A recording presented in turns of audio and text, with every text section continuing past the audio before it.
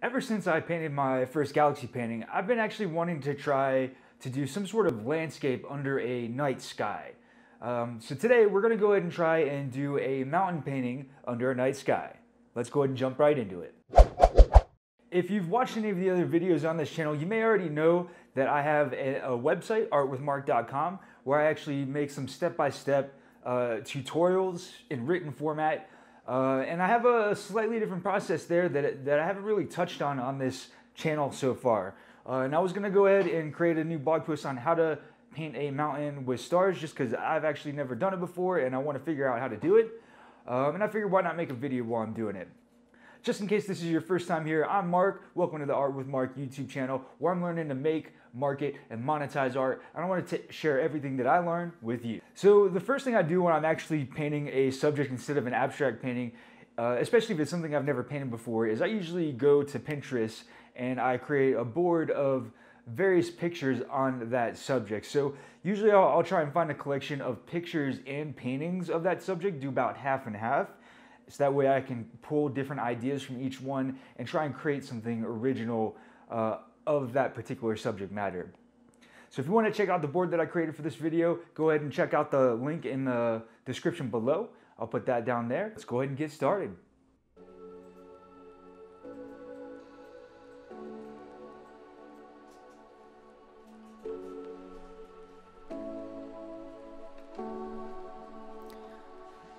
Okay, so we already covered the first step I normally take, uh, take by making a Pinterest board uh, for inspiration. Uh, usually, the second step in the way the blog posts have been panning out uh, usually would be to cover my palette and the colors that I'm using for this painting and how I went about deciding which colors I needed to use. Uh, in fact, I mean, I just really do my best to look at, the, at whatever picture I'm using and pull colors out of that and get close to it. Uh, and it really depends on what colors you have on hand as well. So sometimes you might not have all of the variations you might want or need. Uh, and even sometimes when you try to mix your colors together, you may not get the results you want due to various color biases in your paints. So, learning all that stuff comes with trial and error, to be honest with you. What you got to do is just do your best to select the colors that you have available to complete the project you're looking to complete. Oftentimes, you'll start with uh, selecting a certain array of colors, and maybe somewhere along the way you find that you need another color that you weren't expecting that you would need. So that's basically how I go about doing it. Um, I don't work with limited color palettes as of yet, as I don't have the full knowledge of color mixing skills, which is, you know, something that you get as you go. Now, just to kind of comment on what I'm doing here, this is actually the next step after choosing your color palette. So, uh, in this step here, uh, this is the third step, uh, we're just trying to start by painting the background in, getting our night sky. So I started at the top with Mars Black, and I'm wor working my way inward. Uh, with our reference picture, you, it's kind of a picture of the Milky Way galaxy above the mountain. So if you've ever seen pictures of the Milky Way, there's usually this, there's usually two bright halves to it and like this dark strip down the center. And so in the picture, you can see on the both on the left and right half of the picture, there's kind of like this bluish uh, glow, and then lower on, lower down, there's a, a, green glow. So here I'm working that into the canvas, uh, and I'm trying to get that soft glow effect through using a bit of watered down paints. Uh, and also, one other thing to note here you see me using my iPad as my reference for my picture, and it's off to the right of the canvas right there. One thing to be careful about if you are going to do something like that is when you're working paint off of that right, in this case, the right side of the canvas where the iPad is, careful not to flick paint onto your iPad. I've done that before. Luckily, I noticed before it dried and I was able to get it off. But um, anyway, back to the painting. Here I'm working in uh, the orange yellow layer of the clouds that's right above where the mountain line is. Uh, and then I start trying to blend it in with the, uh, the, the, the, blackness of space. And again, I, I'm really doing all of these blending techniques. I'm kind of taking my time with each step and making sure I blend it out nice and softly. So if you're not sure how to do that yet, my best recommendation towards learning to do that is just do a little bit at a time and use a little bit of water here and there. What I actually like to do is I dip my brush in the water and then I let uh, water drip off the brush by hitting against the side of the of the water container, and then I'll even sometimes hit my. Um, I usually have like a wash rag nearby that I wipe the brush on, but I, I'm not trying to wipe all of the water off. I want to leave that brush wet, a little bit wet enough so that when I uh, hit the side of my my palette where the paint is contained, you get a few drops of water coming off into the paint and allowing you to water down the paint just a little bit. You know, you'll know when it's too heavy too, because you'll see there's a few times here where you see right like right there, you see me put on a little heavy, and then I come in and I brush it out further, and sometimes I'll dip, I'll do that technique I was just describing where I dip the, the paintbrush in the water, uh, and I'll leave a little bit of water on, and I'll come back to the canvas without any extra paint to spread the pigments out further. So that's the one thing you got to think about is you know each color you're using, there's certain amount of pigments in the paint, and when you want a more transparent, glowy effect like what we're going for here, you just need to thin out the pigments. Same thing with a nice smooth finish.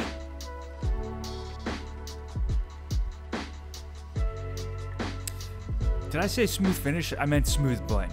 So yeah, in, in, in regards to getting a good blend too, uh, I am at and to be more specific on the colors I'm using here, I'm using primary blue and light green permanent. And uh, I'm not just watering them down, but I am also uh, mixing them uh, with a bit of that Mars black as well, uh, where needed. So in the areas where uh, the gas starts to, or the glow starts to fade into space, you obviously would want to use, you know, a little bit more black in those areas, or have uh, a transitionary value between you know, the brighter blues and the, the darker blues. So just keep that in mind as well. Um, it's all a process. That's why I recommend learning to do a galaxy painting before trying a painting like this because if you do a few galaxy paintings, you'll start to get the hang of these sorts of techniques. and It'll make doing a night sky like this a lot easier. You just gotta take it one small step at a time though. Don't put too much pressure on yourself. And when you mess up, it's all good. You can just paint over it. You'll see later in this video. Uh, I mean, this is another reason why I would say start with something a little more simple, like a galaxy painting. Before doing this is because even though I've got quite a few paintings under the belt at this point, I've never done a mountain painting before, and uh, I mess up a certain technique that I try a couple of times. I, I didn't even honestly get the, the result from that technique I wanted, so I had to end up finishing uh, the mountain with my paintbrushes because I'm a lot better with paintbrushes than I am with a palette knife. But not to spoil the next section here. All right, so to finish up this this step, we're gonna go ahead and add some stars. Now, to do this, uh, you want to go ahead and make your paint, your titanium white, uh, kind of the consistency of milk or maybe like a slightly thick milk. Uh, and then you also want to use something with stiff bristles. So in this particular case, I'm using a Dick Blick uh, paintbrush that I got with a set that I bought to review. And uh, it's actually really good for this particular uh, technique or for putting stars on the canvas.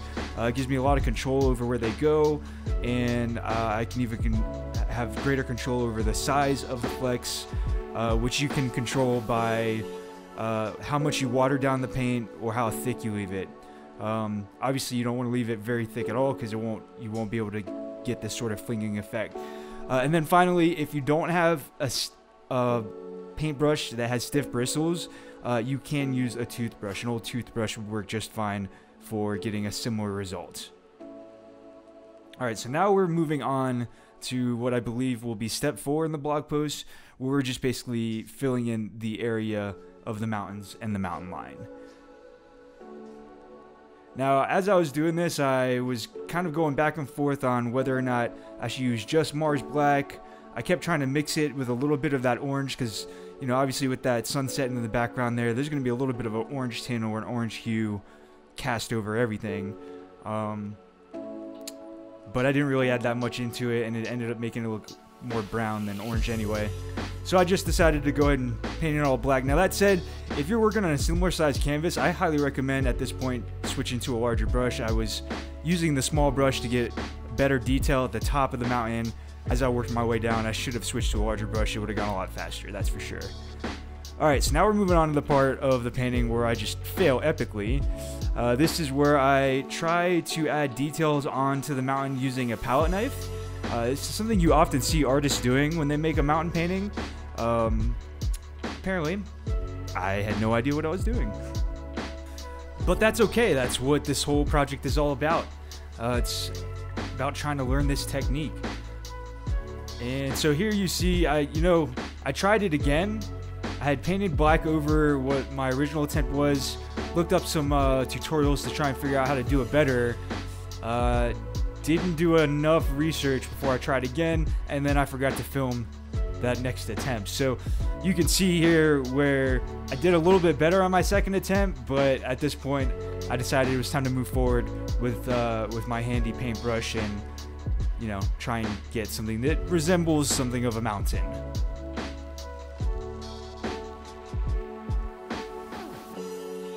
So uh, if you're gonna if you're going to give this project a try, I highly recommend trying to use the palette knife, even if you've never done it before, even if you get terrible results like I did, I still learned a heck of a lot from those failures. So don't be afraid to give it a shot. You can always paint over with the paintbrush like what I'm doing right now. Yeah, and speaking of what I'm doing right now, I'm actually working with a smaller flat brush to get finer details.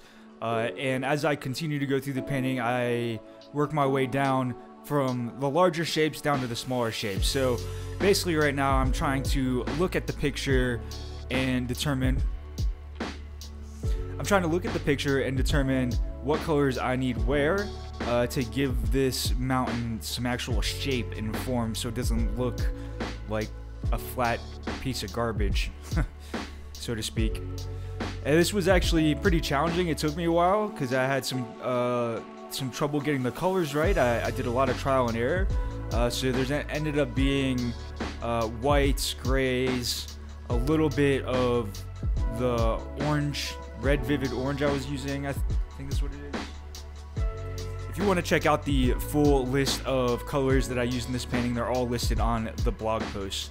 Uh, so, and if you want to check that out, I'll, I'll make a short link for you. You can go to it at artwithmarc.com slash mountains. That's artwithmarc.com slash mountains.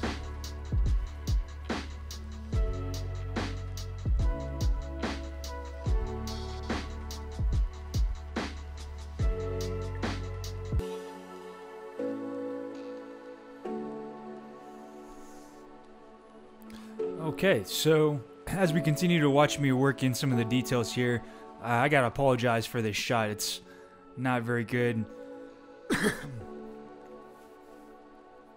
Yeah, I gotta apologize for this shot just because, or both shots really, uh, I haven't quite mastered the art of video making yet, so hopefully I'll get better in time as, as I make more of these videos. Um, so this one's really kind of hard to see what I'm doing here because my hand is blocking it, and on the other angle, my head is blocking it, so I had bad angles on both sides. And then on top of that, the way both of these cameras are set up, uh, it's hard to really get the like this, this is a good angle right here because you can actually see the colors, but it's a bad angle because my head's blocking everything and my back's blocking everything. Anyways, uh, when it comes to painting the mountain uh, and getting form and shape into it, you want to be thinking about form and shape. Thinking, think about the three-dimensional form of the mountain and the rocks and the details in it that you're trying to get and where where light's going to be hitting some of those rocks and where sides of the mountain are falling into darkness. And that'll really help some of that form start to pop out like what we see happening here. I don't think I did the greatest job on, on the shape and form of the mountain, but I'm somewhat satisfied with the results we end up with. That's an understatement. I'm pretty satisfied with how it came out. Hey, if you happen to still be watching at this point and you haven't skipped past this part, first off, thank you for watching this video this far. Uh, it would really help me out if you hit that like button. I'd definitely appreciate that. It would uh, certainly help grow the channel and let me know that you actually like the content. You want to see more content like it.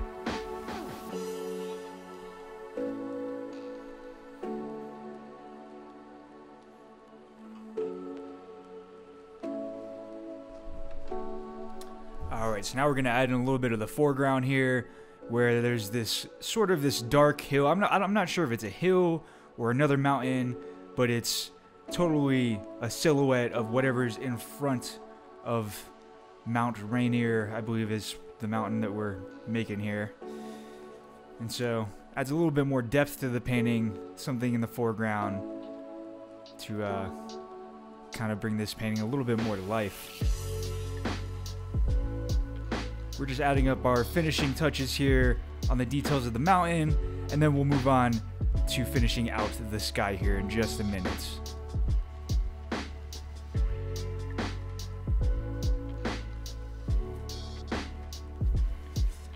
At this point, I believe we're into step seven. What would be under step seven in the blog post? I usually break down my step by steps into eight steps just to keep it simple uh, and to try and try and develop some sort of consistent format to follow.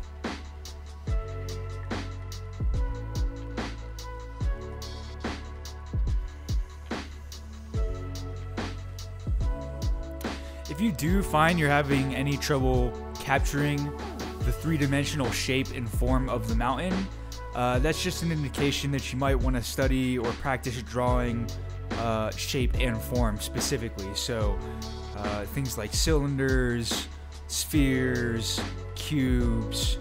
Uh, there's a great course on Skillshare by Brent Evanstad, I think that's how you say his name, called The Art and Drawing of Science. I haven't made it all the way through it yet, but uh, I'm specifically in the shape and form course, so I've been thinking about that a lot lately, which is why I was really kind of dead set on capturing a three dimensional feel to that mountain.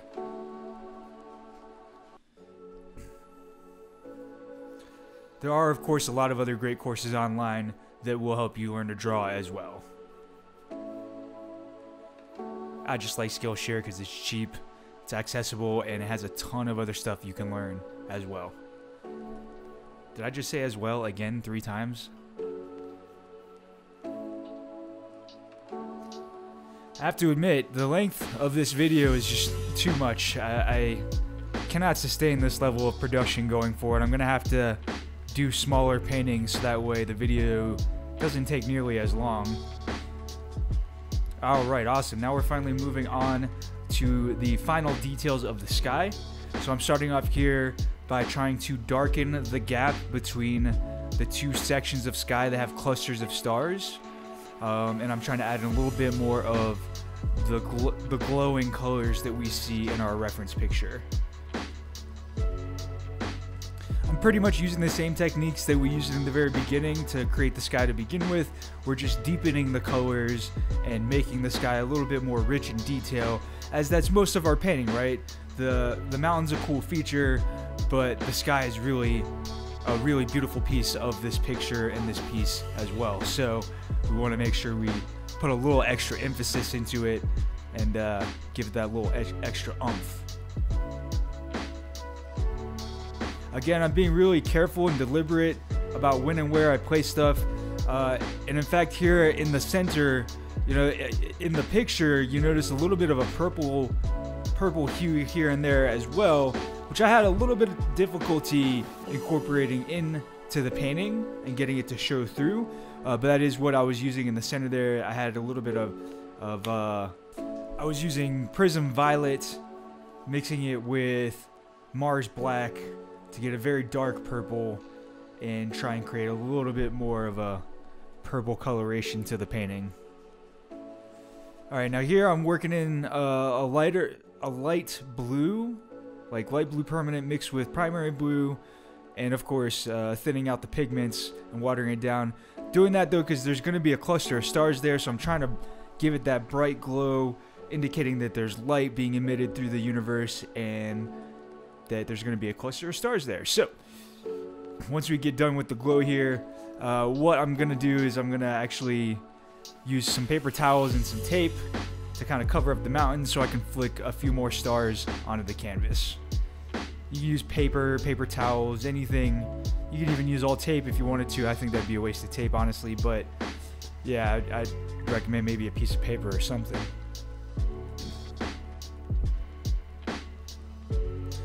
And you notice me using the sponge a lot more here than I was earlier on in the painting. Uh, it's because I'm trying to really be careful about how I add these colors in here because I don't want to I don't want to do it too too heavily and the times when I have a when I am applying the paint too heavily I'm coming in with the sponge that's a little bit damp uh, just the way I do it with the brush.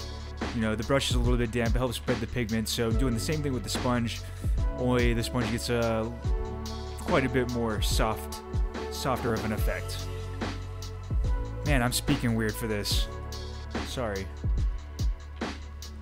just speaking off the cuff like this. Alright, so here I'm working in some more green. I just love the way the the green glow and the blue glow kind of blended into each other and mixed into each other. So I was really trying to capture that as well.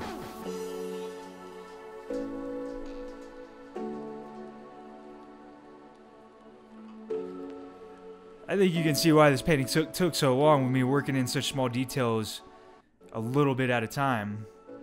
Unfortunately for me, that does not work in this line of business. If I'm going to be a successful creator on YouTube, on blogs, on the internet in general, creating brands, I have to release more content than this. I can't be taking nine days to finish a video and put it out. That's just asinine. Alright, here we go. This is a good example of what I was referring to before where you just kind of want to tape something over the mountain to cover it up, make sure you're not flinging paint all over the mountains there. And then again, uh, the I was really surprised with the control I had with the Dick Blick flat brush set that I had bought from Dick Blick. Uh, the the bristles are so stiff, and the fact that I have a different range of sizes to choose from really gives me a lot of control over where those uh, flecks are going. And I did mention earlier uh, to get different size flecks. I said something about the thinness or the thickness of the paint. Honestly, I think that actually has to do more with uh, how much, how, how saturated the brush is when you load it up.